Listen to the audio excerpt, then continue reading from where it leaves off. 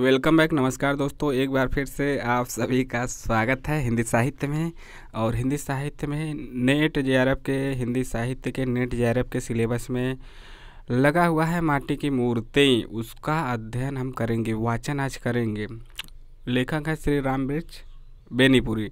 यह इकाई दस, यानी कि यूनिट दस, जिसमें कि अन्य गद्य विधाएँ लगा हुआ है, उसके तहत है। और यह आपका रेखा चित्र है। कौन सी विधा है? रेखा चित्र जिसे शब्द संग्रह, चित्र शब्द संग्रह के नाम से भी जाना जाता है।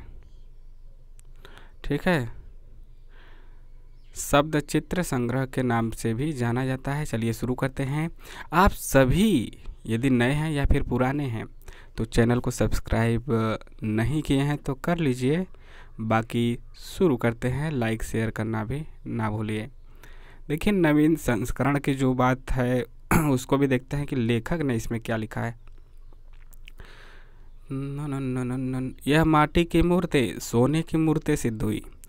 छः साल में इसके साठ हज़ार प्रतियाँ बिक चुकी। इस नवीन संस्करण में एक मूर्त और जोड़ दी गई है रजिया।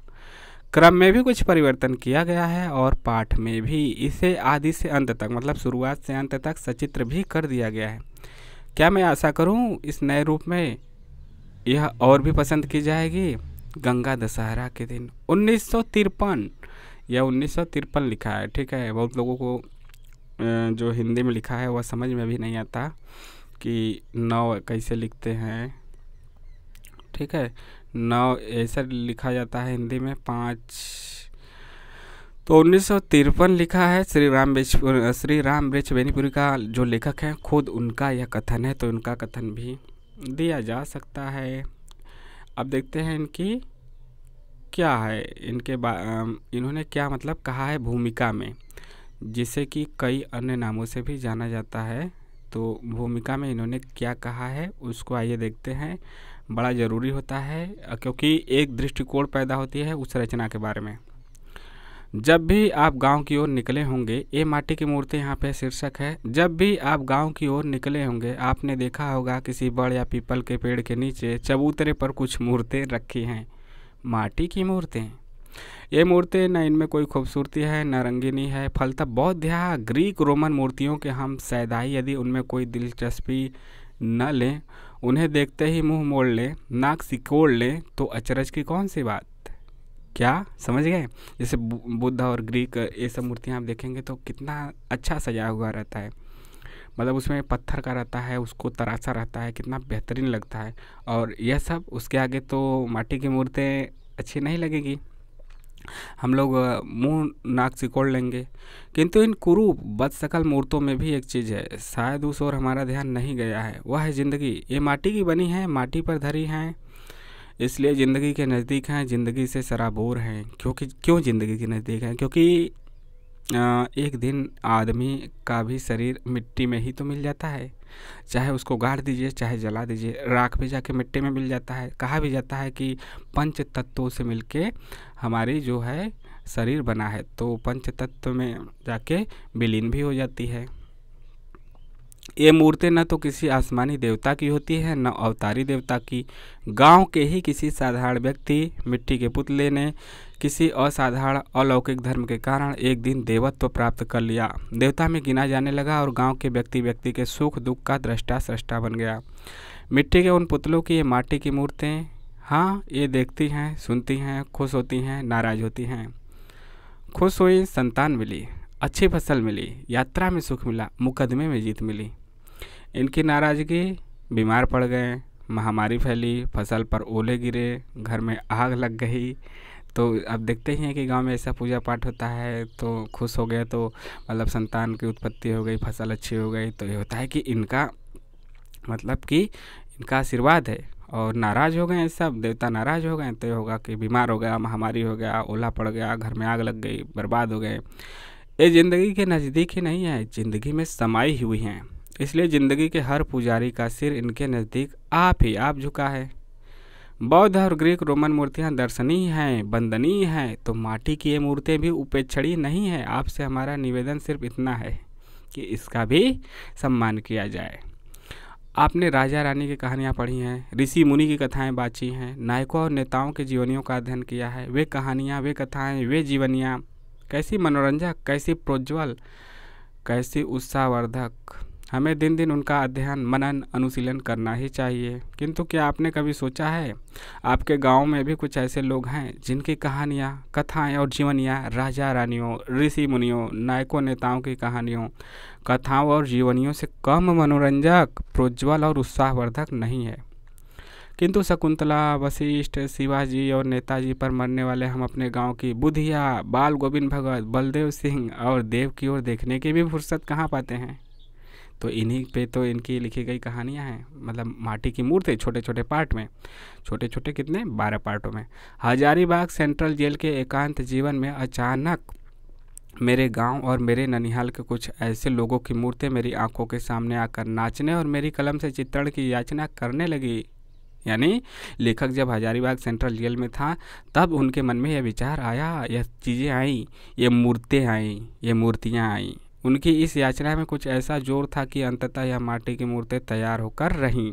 हाँ जेल में रहने के कारण बैजू मामा भी इनकी पात में आ बैठे और अपनी मूर्त मुझसे गढ़वाए ली मैं साफ़ कह दूँ, ये कहानियाँ नहीं जीवनियाँ है। कहानियाँ नहीं है, जीवनियाँ हैं, ज़िंदगी है, असल ज़िंदगी है। ये चलते फिरते आदमियों के सज द चित्र हैं। मानता हूँ कला ने उन पर पच्चीकारी की है तो थोड़ा सा कलाकारी तो करना ही होगा, क्योंकि उसको जब पिरोना है कहानियों में रेखा चित्र में तो यह तो रहेगा ही। किंतु मैंने ऐसा नहीं होने दिया कि रंग रंग में मूल रेखाएँ ही गायब हो जाए। ऐसा मतलब लेखक का कहना है कि रचना करते समय कलाकारी पच्चीकारी करते समय बिल्कुल ध्यान रखे हैं कि वह केवल मनोरंजक लगे। वह केवल मनोरंजक के तौर पे ही ठीक ठाक लगे, उसमें से मूल रेखाएँ गायब ना हो, मूल कहानी गायब ना हो, मूल जीवनी गायब ना हो। मैं उसे अच्छा रसोइया नहीं समझता जो इतना मसाला रख दे कि सब्ज़ी सब्ज़ी का मूल स्वाद ही नष्ट हो जाए, मसाला ही मसाला स्वाद लगे। कला का काम जीवन को छिपाना नहीं, उसे उभारना है। कला वह जिसे पाकर ज़िंदगी निखर उठे, चमक उठे। डरता था सोने चांदी के इस युग में मेरी ये माटी की मूर्ति कैसे पूजा पाती हैं? मतलब इस चका चौथ में कैसे इन चीज़ों को इन चीज़ों को कैसे मान्यता मिलती है, कैसे लोग सराहते हैं, यह डर तो रहा था लेखक के मन में, इन्होंने कहा है। किंतु इधर इनमें से कुछ जो प्रकाश में आई, हिंदी संसार ने उन्हें सिर आँखों पर लिया। यह मेरी कलम या कला की करामात नहीं। मानवता के मन में मिट्टी के प्रति जो स्वाभाविक स्नेह है, उसका परिणाम है। उस स्नेह के प्रति मैं बार बार सिर झुकाता हूँ और कामना करता हूँ कुछ और ऐसी माटी की मूर्ति हिंदी संसार की सेवा में उपस्थित करने का सौभाग्य प्राप्त कर सकूँ। यह इन्होंने जब कहा है कब कहा है? आ, किसने कहा है? 1946 में दिवाली के दिन आ, इन्होंने कहा है रामवृक्ष बेनीपुरी। तो दोनों कथन जो पहले हमने पढ़ा और यह कथन दोनों श्री राम वृक्ष बेनीपुरी का है। इसमें से एक दो पंक्तियाँ उठा के दे भी सकते हैं कि किस रचना के संबंध में है और किसकी है। तो आप लोगों को यह अच्छे से देखना चाहिए। और इसके बाद हम क्या कर लेते हैं कि जो माटी की मूर्ति है उसका क्रम देख लेते हैं। यानी कि परिचय प्राप्त कर लेते हैं माटी की मूर्ति में क्या क्या है। अभी हमने भूमिका देखा, उसके बारे में देखा, अब इस रचना के बारे में भी देख लेते हैं कि इसमें क्या क्या है। बाकी तो अगली कड़ी में हम लोग पढ़ना शुरू करेंगे एक एक कड़ी एक एक लोगों पे। ये माटी की मूर्तें। तो यहाँ तक तो आपकी परिचय हो ही गया होगा। मतलब यहाँ तक परिचय रहेगा आपका। सात तक फिर यह लेखक है। फिर पहला जब चैप्टर आएगा, उसका नाम होगा रजिया। फिर आएँगे बलदेव सिंह। इसके बाद सरजू भैया। फिर चौथे पे मंगर फिर रूपा की आजी, फिर देव, फिर बाल गोविंद भगत। ये मतलब जीवनियाँ हैं। लेखक के आसपास की उनके देखी, सुनी, उनके जीवन से गुजरी, कहीं ना कहीं उनको प्रभावित की। तो वह असल ज़िंदगी की कहानियाँ हैं, असल जीवनियाँ हैं, जिसको लेखक ने पिरोया है रेखा चित्र में तो आपको यह ज़रूर सब देखना चाहिए। भौजी है, परमेश्वर है, बैजू मामा भी स्थान पा गए जैसा कि लेखक ने कहा कि जेल में रहने के कारण हजारीबाग किस जेल में लेखक थे? हजारीबाग और सुभान खां है, फिर बुधिया है। बुधिया, ठीक है, बारहवा बुधिया है। तो इस प्रकार से यह इसका परिचय रहा। आगे फिर हम देख लेते हैं, जो पुस्तक के पीछे दिया गया था इसके बारे में इसी से, इसी की पंक्ति से है और लेखक का परिचय भी देख लेंगे थोड़ा सा, उसके बाद उनकी कृतियाँ भी देख लेंगे। जब भी आप गाँव की ओर निकले होंगे, आपने देखा होगा किसी बड़ या पीपल के पेड़ के नीचे चबूतर पर कुछ मूर्तें रखी हैं, माटी की मूर्तें। ये मूर्तें न इनमें कोई खूबसूरती है, न रंगीनी है, किंतु इन कुरु बदशक्ल मूर्तों में भी एक चीज़ है, जैसा कि हमने पढ़ा शुरुआत में। शायद उस ओर हमारा ध्यान नहीं गया है, वह है ज़िंदगी। ये माटी की बनी है, माटी पर धरी है, इसलिए ज़िंदगी के नज़दीक हैं। ज़िंदगी से सराबोर हैं, ये देखती हैं, सुनती हैं, खुश होती हैं, साफ़ देती हैं।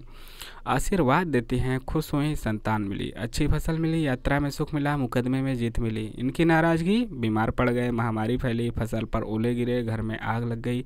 ये मूर्तें ज़िंदगी के नज़दीक ही नहीं, ज़िंदगी में समाई हुई है। रिपीट है, लेकिन फिर से आप देखिएगा। आप इससे नाता तोड़ नहीं पाएँगे, इतने सुंदर वाक्य हैं। इसलिए ज़िंदगी के हर पुजारी का सिर इनके नज़दीक आप ही आप झुक जाता है। ये कहानियाँ नहीं, जीवनियाँ हैं, ये चलते फिरते आदमियों के शब्द चित्र हैं। सुप्रसिद्ध लेखक श्री राम बिच कहते हैं, मानता हूँ कला ने उन पर पच्चीकारी की है, किंतु मैंने ऐसा नहीं होने दिया कि रंग रंग में मूल रेखाएँ ही गायब हो जाएँ। मतलब रंगने में जैसे हम कोई चित्र बनाते हैं तो फिर उसको रंगते हैं तो रंगने में ऐसा ना हो कि जो मूल रेखाएँ हैं वही गायब हो जाएँ। रेखाएँ पता चलनी चाहिए, मूल जीवन पता चलना चाहिए। इसके बाद सुप्रसिद्ध लेखक का कहना है कि मैं उसे अच्छा रसोइया नहीं समझता जो इतना मसाला रख दे कि सब्ज़ी का मूल स्वाद ही नष्ट हो जाए, केवल मसाला मसाला ही स्वाद आए। मतलब मसाला बहुत कम हो तो चलेगा। कम ना रहे, ना ज़्यादा रहे, मीडियम रहे तो बहुत अच्छा है। लेकिन बहुत ज़्यादा हो गया तो ख़राब हो गया, केवल मसाला का ही स्वाद है। कम है तो एक बार तो चल जाएगा, ज़्यादा हुआ तो नहीं चलेगा। ज़िंदगी के विविध रंगों को रेखांकित करती बेनीपुरी जी की सशक्त लेखनी से निकली रोचक मार्मिक व संवेदनशील रेखा चित्र यह आपके सामने है। अब लेखक का देखते हैं रामवृक्ष बेनीपुरी का आप यहाँ देख सकते हैं। जन्म तेईस दिसंबर अट्ठारह को हुआ। बेनीपुर मुजफ्फरनगर बिहार में हुआ, इसीलिए तो इनको बेनीपुरी लग गया। इनके नाम के आगे रामवृक्ष के आगे। साहित्य सम्मेलन से विशारद स्वाधीनता सेनानी के रूप में लगभग नौ साल जेल में रहे हैं। कांग्रेस सोशलिस्ट पार्टी के संस्थापकों में से एक हैं। उन्नीस सौ सत्तावन में प्रजा सोशलिस्ट पार्टी से विधायक चुने गए, यानी कि ये विधायक भी रह चुके हैं। आपसे पूछा जा सकता है कि कौन इसमें से कौन लेखक विधायक रह चुके हैं? दिसंबर उन्नीस सौ उनसठ में पच्छाघात, सत्रह दिसंबर मतलब पच्छाघात हुआ। इसके बाद आपको सात दिसंबर उन्नीस सौ अड़सठ को निधन हो गया। ठीक है, अड़सठ अड़सठ ग्यारह, अड़सठ, अठहत्तर, उन्यासी साल जिए हैं। उन्यासी, अस्सी, ठीक है अच्छा जिए। संपादित पत्र, तरुण भारत किसान मित्र, गोलमाल, बालक, युवक, कैदी। लोक संग्रह, कर्मवीर, योगी, जनता, तूफ़ान, हिमालय, जनवाड़ी, चुन्नू मुन्नू तथा नई धारा के संपादित पत्र भी इनके द्वारा ये सब रहे हैं। इनकी कृतियाँ देखते हैं। कृतियाँ क्या है? इनकी चिता के फूल, कहानी संग्रह है। लाल तारा, माटी की मूर्तें गेहूँ और गुलाब यह सब शब्द शब्द चित्र संग्रह है, यानी कि रेखा चित्र। पतितों के देश में कैदी की पत्नी, यह इनके उपन्यास है। सतरंगा, इंद्रधनुष यह ललित निबंध है। गांधी नामा स्मृति चित्र है। नया आदमी, कविताएँ हैं।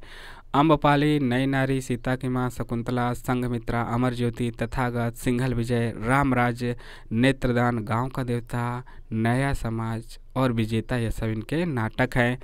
हवा पर बंदेवाड़ी बिनाय को अत्र तत्र यह निबंध है। मुझे याद है जंजीरें और दीवारें।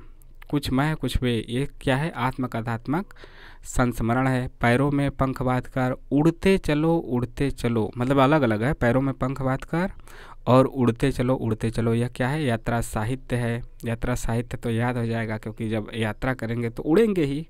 पैरों में पंख भी बात के उड़े चलो। शिवाजी, विद्यापति, लंगट सिंह, गुरु गोविंद सिंह, रोजा, लग्जेमबर्ग, जयप्रकाश काल मार्क्स यह सब जीवनियाँ हैं। लाल चीन, लाल रूस, रूसी क्रांति, यह सब राजनीति पे लिखा गया है इनका। इसके अलावा राजनीति में तो थे ही, आपको पता है ये विधायक थे। इसके अलावा बाल साहित्य के दर्जनों पुस्तकें तथा विद्यापति पदावली और बिहारी ससई पर टीका भी लिखे हैं। बिहारी सस्ताई और विद्यापति पदावली पर टीका भी लिखे हैं। तो इस प्रकार से इनका यह परिचय रहा आ, लेखक का परिचय रहा रामेश बेनीपुरी का इन इस रचना के बारे में रहा इस रचना में कितने चैप्टर हैं उस पर रहा यानी कितने माटी की मूर्तें हैं इस पर रहा असल ज़िंदगी की और इसमें हमने इनकी भूमिका देखी इनके बातें देखी इसके बारे में। तो आपको कैसा लगा ज़रूर बताइए। मिलते हैं नेक्स्ट वीडियो में। जय हिंद, जय भारत। चैनल को सब्सक्राइब ज़रूर कर लीजिए। और यह आपके प्लेलिस्ट में पूरा मिल जाएगा। प्लेलिस्ट में मतलब आने वाले वीडियोस प्लेलिस्ट में, अन्य गतिविधाओं वाले में यह आपके सामने होगा। और सभी बारह चैप्टर है तो एक एक चैप्टर आपका एक एक वीडियो के रूप में आपके सामने होगा धीरे धीरे करके। तो उसको ज़रूर देखिएगा। मिलते हैं नेक्स्ट वीडियो में। जय हिंद, जय भारत।